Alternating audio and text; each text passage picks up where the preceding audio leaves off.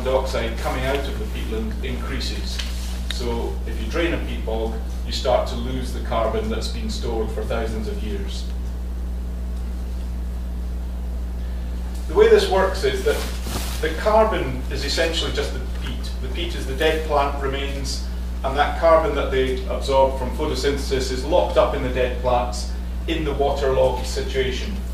If you lower the water table and the oxygen starts to come into the system, the peat dries out, bacteria start to oxidize, and the stored carbon is converted into carbon dioxide and enters the atmosphere.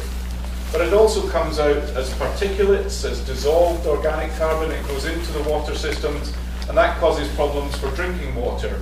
If you have dissolved organic carbon, it creates the brown water colour that companies then have to spend millions of pounds removing from the drinking water to meet drinking water standards. So there's a problem both in entering the atmosphere directly, but also indirectly going through our water systems, that loss of carbon from the system. And as we saw earlier, the combination of loss of carbon physically, you lose, the, the bog shrinks and the, the, the peat is lost out of the system, and you can lose many meters of peat in a few decades. One of the questions often comes up is about methane. So a lot of people are aware that methane comes out of a healthy natural peatland.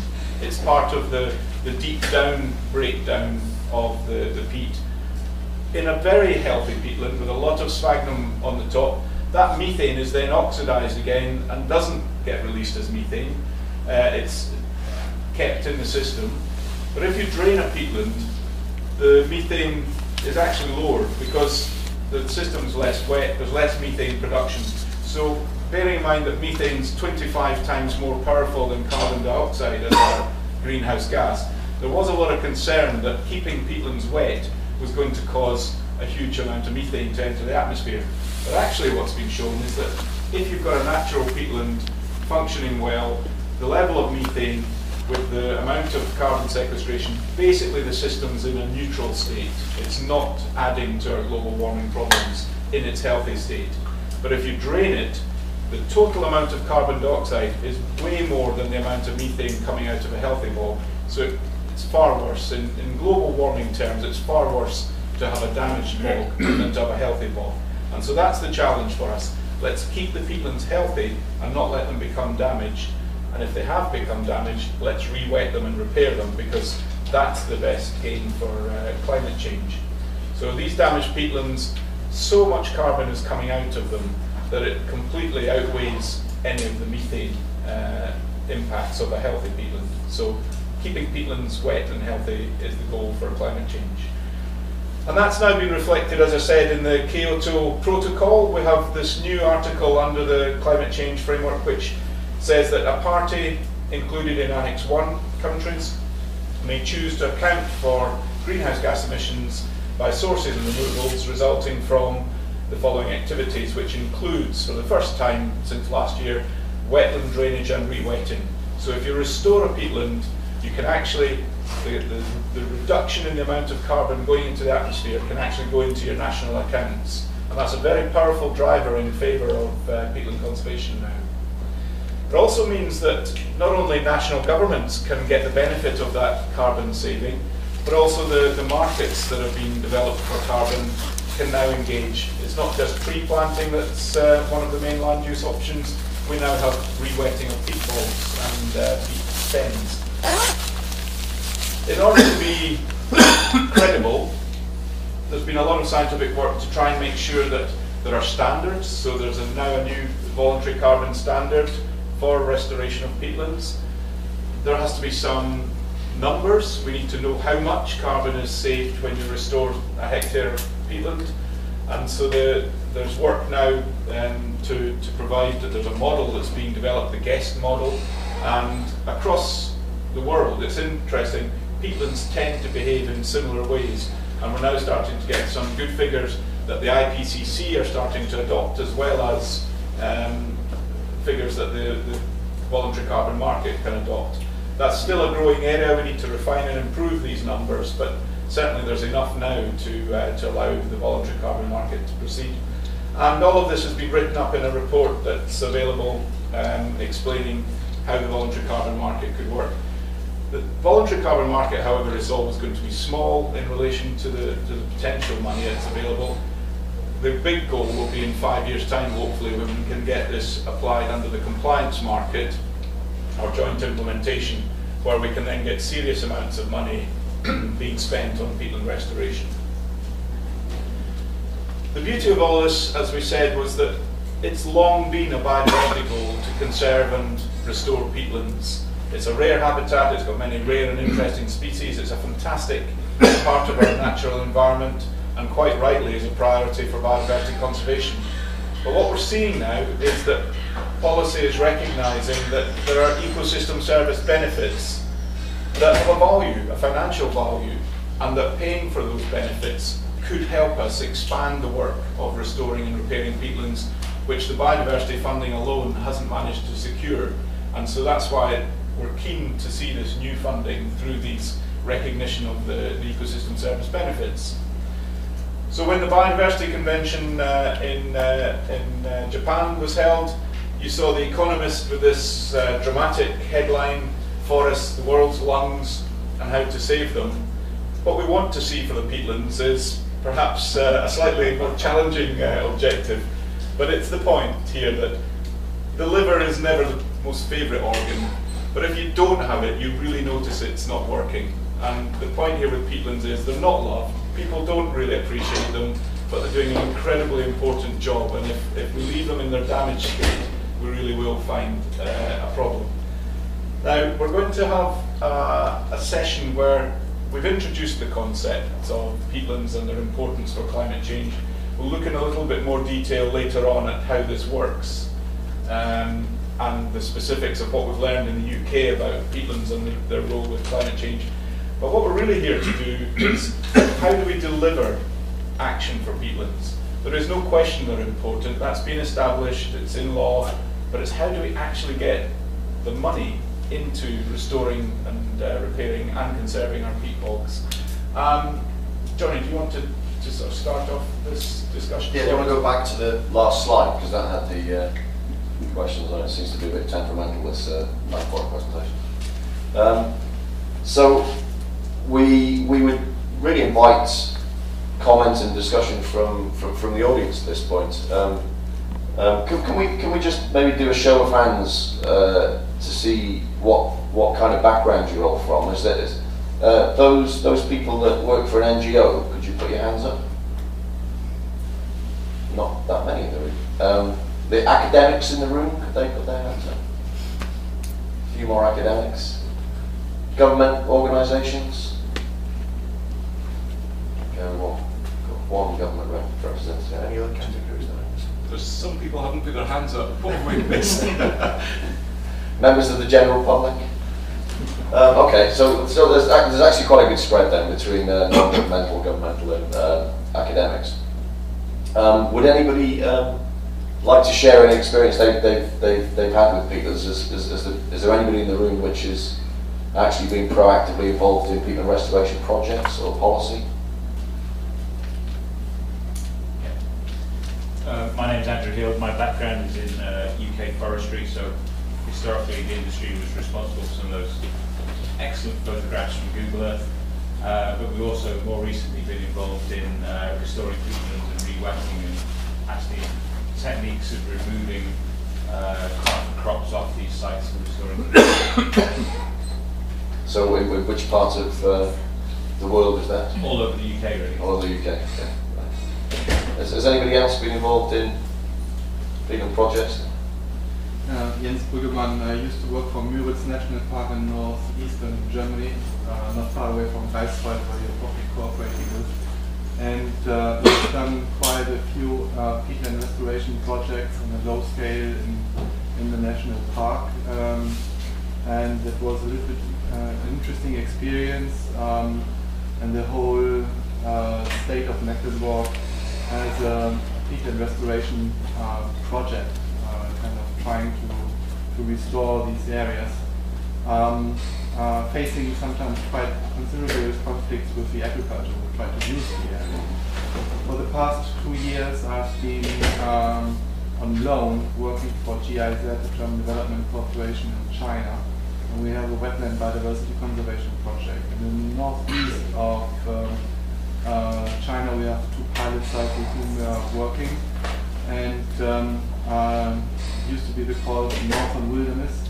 50 years ago, 90% wetlands. right now, it's less than 10% wetlands remaining. Has, has, has become the grain basket of China. Uh, incredible importance of the area to feed the population and uh, in, enormous pressure on the remaining wetlands um, uh, to, um, well, in, in, danger of being converted despite protection status uh, for agricultural purposes. However, uh, the authorities have already um, identified uh, the extreme value of the peatlands and wetlands in that area in maintaining these, these different functions. Um, uh, and uh, they are also trying to restore the areas. However, the restoration is a bit done like this. And so putting water in and sometimes the outcome is not as a beautiful habitat for birds that they would like to see. So uh, there's a, somehow quite often a, a bridge between kind of, let's say, fully fledged analyzed restoration proposal and plan towards a hands-on uh, hands-on restoration project. And uh, second observation as regards restoration is that um, uh, sometimes they opt for large, uh, money-intensive restoration projects rather than uh, restoring uh, some of the ecosystems which are on the way of degradation. So, because sometimes nature can do the, the job itself over a longer period of time and uh, but uh, um, it's not so fancy if you don't have these big bulldozers restoring the landscape. That's a little bit the experience I had. Okay, that's very, very useful actually. Yes. Yeah. Hi, I'm Dorothy Herr from the IUCN Global Marine and Polar Program and sort of working on a bit of a related overlapping field of what's often called blue carbon, coastal carbon, and the, the similar role um, that peatlands show in, in coastal ecosystems. And I, I would be interested also to see from um, maybe in the discussion, how do you um, work more towards a, a, a land-based approach or coastal sea-based approach where specifically where we have these issues of the drivers and agriculture, etc., how do we, because similarly, you know, we've been new kid on the block, if you like, when it comes to, to carbon sequestration, etc., but how do we ensure that it's not this sort of either or, it's either forest or peatlands or coastal, but really look at how can we integrate, integratively look at the drivers and, and, I think in the end what we all want are the nature-based solutions and, and, how we can put them all together into, into one system. Yeah, I mentioned uh, the idea of, I think I mentioned the idea of carbon sequestering landscapes, know, where, where you have um, several different types of habitat, but if you get into decent condition and manage them sustainably, then they could be become carbon sinks. Um, but also you build that resilience as well to uh, um, guard against future climate shocks. So you know, is one example, of course, but uh, you know, there's, there's a whole range of other habitats as well. Any, anybody else? Yeah, I'm Evgeny Genatinovsky, Baltic Fund for Nature Russia, and also I'm working for the development of Wetland Link International in Russia. Um, so the situation for northwestern Russia with peatlands and with wetlands, I think is one of the better within the Russia because most of our wetlands are covered within different uh, types of protected areas. But for many others regions, uh, uh, the degradation of wetlands is a big problem. Of peatlands is also a big problem. And also I know that there are many problems with trying to re restore by rewetting wetlands. In many cases, so there are some cases, uh, mostly around Moscow, they had a large program two or three years ago, restoration of peatlands there, and the result was negative, finally, because they they've got finally a wet forests uh, and not restored peatlands. So they had, and, and no one really knows uh, what to do, but there is a political will to do something. So that's a big challenge for us. We, we we've got some sheets at the back with some suggested actions going forward, um, and um, I think we'll, we'll we'll dish those out in a minute. We'll come back to them at the end because we've, we've quite like your thoughts on. We, we would actually like to pick pick uh, the top three actions which we, we would like to focus on as the, as the um, UK peatland programme advances. So both of you have actually mentioned this this lack of kind of technical knowledge, or you know, rather Yeah. um, we're, we're experimenting as we go along. Um, so maybe that's, that, that is one of the actions to try and share experience and um, communicate those best practice, best practice, practice examples where we've actually succeeded. Um, and in some ways, that the point of our publication demonstrating success was, was, was to do that. We've got a number of copies at the back if you want to pick a few of those up at the end. But. Okay, we've got uh, the, sec- the second point there is barriers to action. Did, uh, did anyone? I mean, you've, obviously touched on that already. We've, we've probably gone. um, is there any any requests at, at this point? Any any questions for myself and Clifton that we might want to try and answer? Yes. Could I just uh, ask the last speaker to explain uh, why it failed? Um, I, I've got some colleagues working in Indonesia who have been working on uh, trying to overcome degradation in peatlands. And to me, who's not a specialist in the topic, I thought filling in the canals would be an obvious thing to do and that would start the rehabilitation process. The word is it's much more complicated than that. So um, I'm intrigued to hear why your system failed, what particularly went wrong, and what was the experience of the British chap who's working all over Britain. How, have you guys been going, and are you uh, optimistic or pessimistic? So first. Um, I think an issue around speed, and often some of these restoration projects attract a lot of money, and a lot of people want to get, gentleman here was saying, large machines involved. And actually, you don't need to do that. And actually, it's it's degraded slowly, so you want to re-wet it slowly. You don't want it to suddenly go from a uh, degraded for 50 years, and suddenly you block all the ditches and suddenly re-wet it. Expect instant results. Um, so a lot of the success we've had has just been, um, you see a lot of piling gets used, and often we found rather than sort of using piling, sometimes you can just, um, you can chip. We're during the projects I've been involved in, we were re- re- removing um, conifer trees, usually Sitka spruce or um, lodgepole pine, that grow very, very slowly, they're in very deep peat. Um, and basically you need to remove these trees because they're sort of slowly re-wetting it. And then the easiest thing we found is to mulch the trees up or to, um, if you want to block a drain, you can use machines called brush balers that will bale, bale it like baling straw. And you create a, uh, thing that's like a big sausage and you put that in the ditch. And that kind of works a lot better than just um, sheet piling. It depends on the size of the ditch. I mean, some of the ditches will be two, three metres deep, so you need more than more than just a branch. Um, I think a lot of it is around speed that people want. It's a, it's a one, they've got funding for a year, it needs to be a one-year project, and they want to see results in a year. I'm going to ask if we can use the roving mic. Um,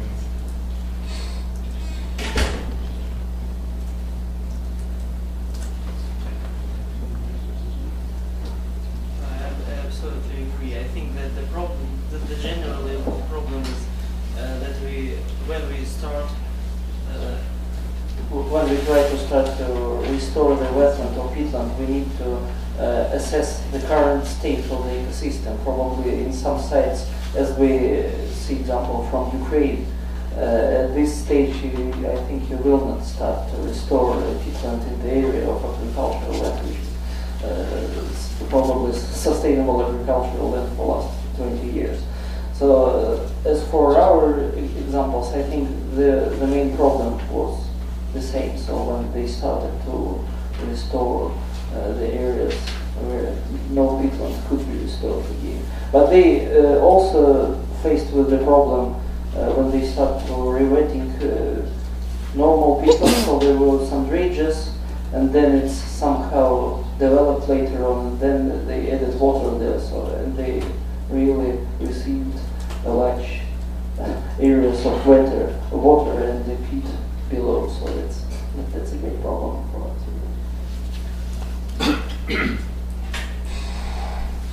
Just pass the, the microphone. Could I seek your indulgence just to ask another question, which is, what would be the early signs of failure or the early signs of success? How would you know whether you're likely to be succeeding or you're on the right track? Well, of course, it depends where you are in the world and I think how degraded your peatland is. Um, but from certainly from the UK experience, the very, very heavily degraded peatlands in the North Pennines, for example, um, one of which I showed a picture of, where you get these very, very big gullies. Um, you need a different technique and any vegetation coming back at all and any stabilisation of the peatland surface is probably um, a sign of success. Um, my own organisation has had a lot of experience um, restoring raised bogs, which are small bogs in lowland landscapes. Um, and the clear sign of success there is sphagnum. And that will be the case for many, many peatlands across the world where, where the sphagnum is the main peat builder. So as, as soon as you see uh, a percentage cover of sphagnum increasing, then you know you've got a sign of success. I think, I think the Russian example is probably